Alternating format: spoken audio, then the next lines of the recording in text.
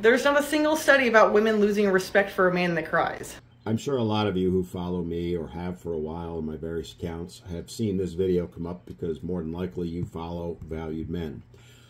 She's great. She's a terrific person. And I don't want in any way, shape, or form this to come across as negative to her. And while I welcome comments on this video, I will not allow any attacks on her or negativity specifically directed her at her on a personal level.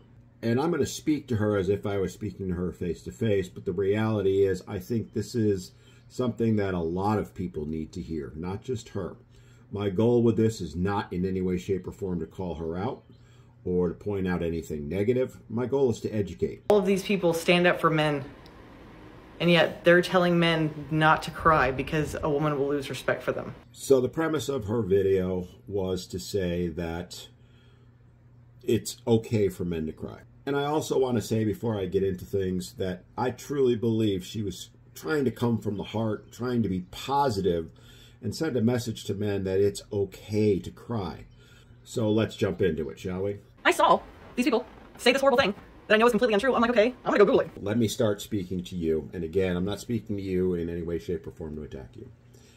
To say something like it's not true is not true. To tell a guy who's experienced this, and I have from literally every relationship I've ever been in, that it's not true, that does not send a good message. You're basically telling us that our feelings, our thoughts, our beliefs are not true.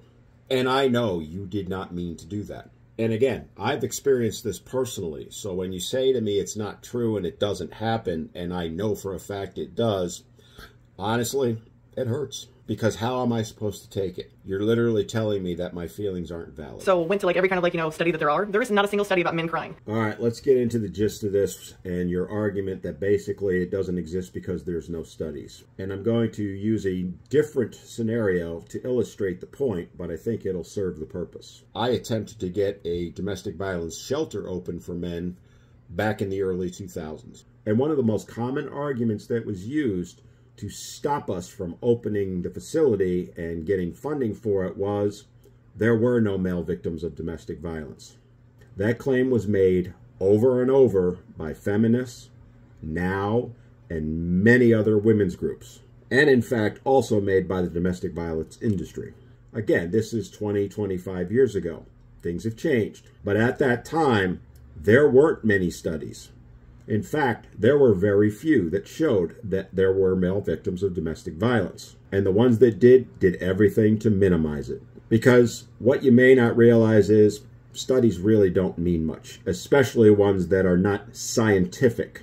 And by that I mean dealing with specific science. What you're talking about is studies done on social, not science. And what you may also not know is that almost every single study is funded by someone and they start with a conclusion that they're trying to prove. So whenever someone tried to present that a male victim of domestic violence existed and do a study about it, they couldn't get funding for it, which is a large reason why there were no studies.